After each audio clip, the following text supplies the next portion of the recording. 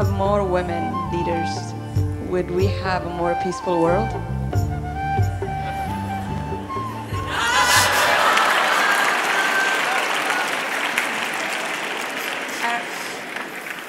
I actually think that right now um, women have a big responsibility to lead a lot of the um, transformation that's happening around how we define success, how do we define work, because basically the world as it is now has been designed by man and it's not working.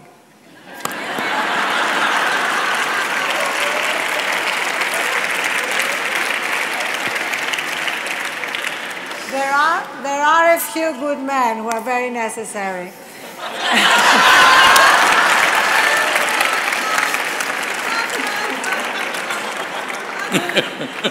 but if you think of it, you know, we had the first women's revolution, which was women getting the vote. The second women's revolution, which was uh, led by Betty Friedan in the States and Gloria Steinem, which was basically having access to every job at equal pay, every position at the top of every field. And now I think there is a third women's revolution, which is redefining what success and work are. So instead of simply saying, I want to be at the top with you where you are, just saying, is this really the best way to run a business? Is this the best way to run uh, our world? And women are saying no. Many, many women are saying we need to actually change the corporate structure in which we are competing, change the political world in which we are competing, not just compete on the terms that men created. And you know what? when these changes happen, and they are happening, men are going to be incredibly grateful.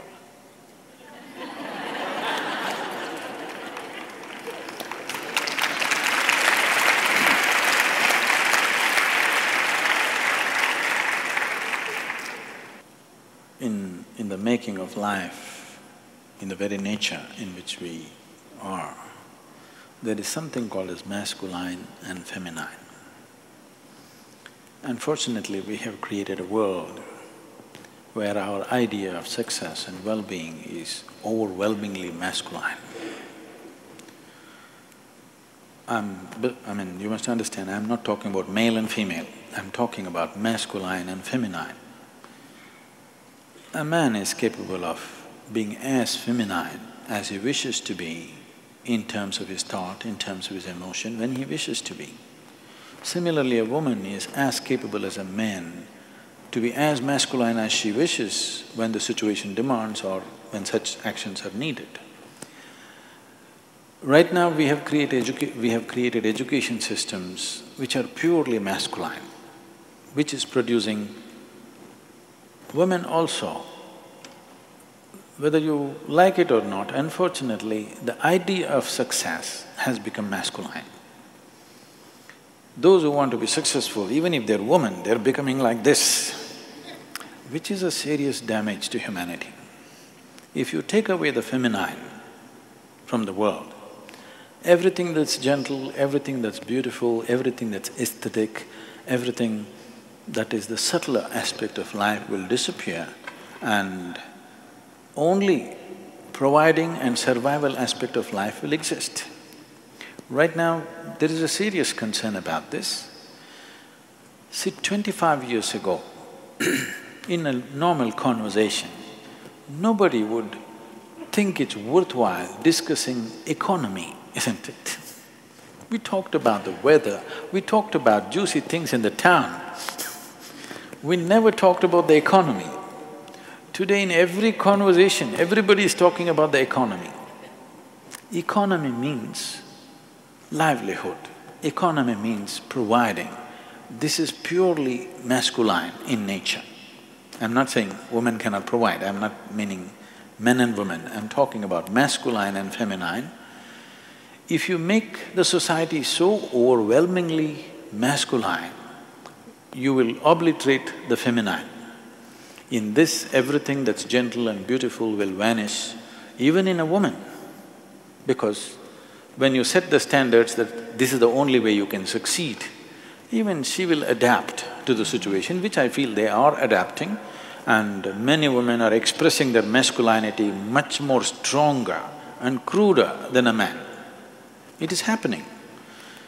This is distressing because uh, if I'm allowed to share something from my life, you know, uh, those days uh, when we were growing up, my father is a physician, he is the provider. My mother never earned a rupee in her life, but it was never such a thing that if she does not earn, she's something less. No, she was the most valued person. As a child, when I look back and see, with all due respect, when I look back and see in the way my life evolved, I could very easily live without my father, but I cannot imagine my life without my mother. She never earned anything, but that's not the point. Where the money came from didn't make a difference, but how it was done in the home was everything. I must tell you these simple things.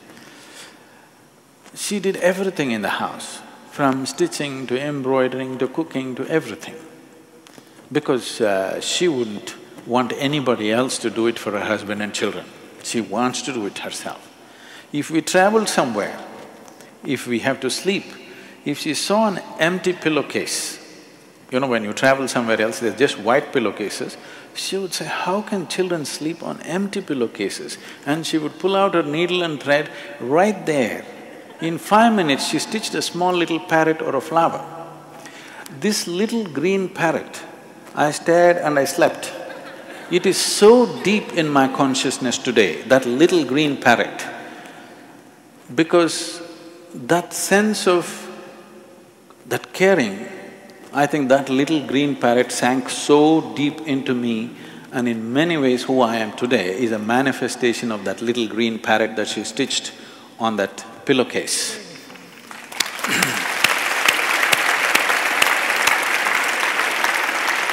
so, this is feminine. I'm not saying everybody has to embroider, but I am saying that sense that sense of concern is feminine and this needs to happen. In the system of yoga, when you… you know, the hatha yoga is a common word being used everywhere without knowing the meaning generally.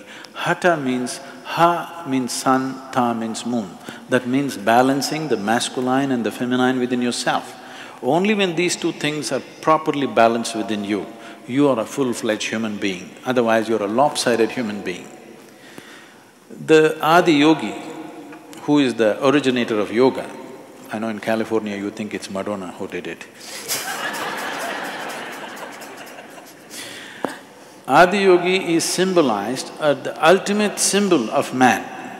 And how he is symbolized is, all the images are, one half of him is woman, another half is man. He is the ultimate man but one half is woman, another half is man, because a true human being is an equal balance between masculine and feminine. And in workplaces, I don't see why gender should even be an issue. Why should you always look at somebody as a man or a woman? You can just look at them as a human being or as a piece of life.